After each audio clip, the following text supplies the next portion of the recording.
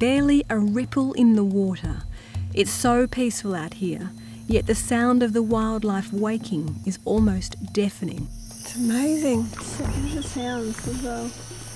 It changes each time you go into a new section. It's like the monkeys and the birds and the cicadas. They're hard to see, but high up in the treetops, a troop of common squirrel monkeys are following the capuchin monkeys. Like cat. The two troops, capuchins and squirrels. The capuchin monkey knows very well the area of living, so they know the good fruit trees.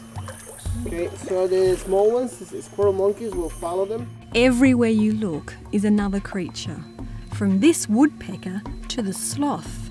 And if you weren't looking with a telescope, you could miss them. Wow!